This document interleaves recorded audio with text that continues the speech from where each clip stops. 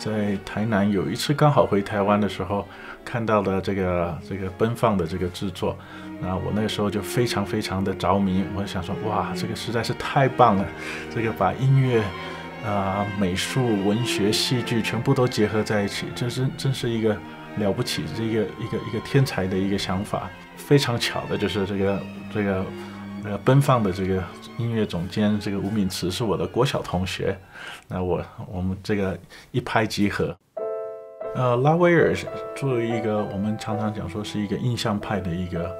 作曲家，其实他的音乐里面有很多的这个我们讲说这个东方。文学或是东方的这个艺术里面的一种非常含蓄优雅的一部分。那对于这个徐志摩的他这个三个生命中三个很重要的女人来说，那在这个拉威尔的音乐里面，我觉得是一个绝配。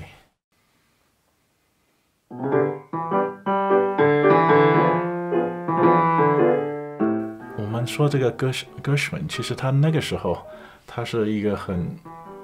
很 popular 是一个非非常受到欢迎的一个通俗音乐的这个流行音乐的这个作曲家，可是他第一次把这个流行音乐把它写到我们可以在这个 Carnegie Hall 里面，可以在这个古典音乐的这个最最高的这个殿堂演出，那是他把这个音乐这个跨越了这个界限，从一个古典到一个这个通俗，我们把这个音乐就就就打开来了。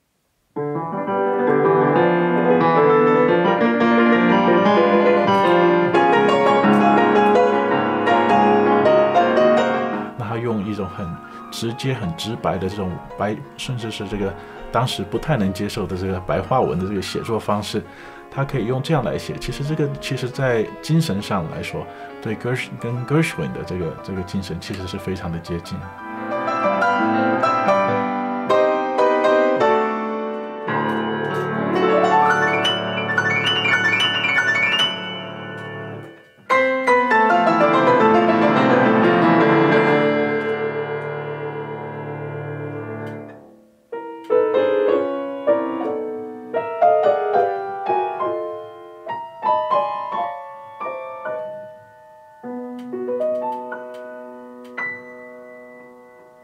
那我们在台上，我们想要跟观众互动，那我们也跟其他的表演者互动。我们要怎么样去，呃，感觉这个舞台上面的这个能量，还有这个一个什么时候是动，什么时候是静。那如果我们在音乐家在演奏的时候，你可以真正的进入这个角色的时候，我想观众也可以感觉得到。我想这是是一个对我来讲是一个非常新的体验。